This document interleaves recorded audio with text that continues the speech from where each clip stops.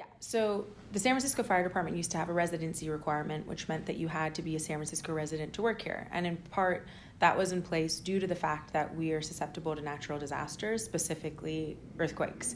So when the next big earthquake happens, it's not a question of whether it will happen, it's more of when it'll happen. You're going to need all your resources. We saw what happened in Loma Prieta, we've seen the damages and the negative effects that it has on our city.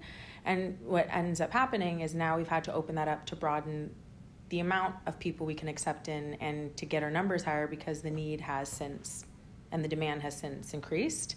Um, but a lot of the firefighters can't afford to live here. So they're having to move to Sacramento or to the East Bay or to the North Bay to find more affordable housing in order to actually live comfortably.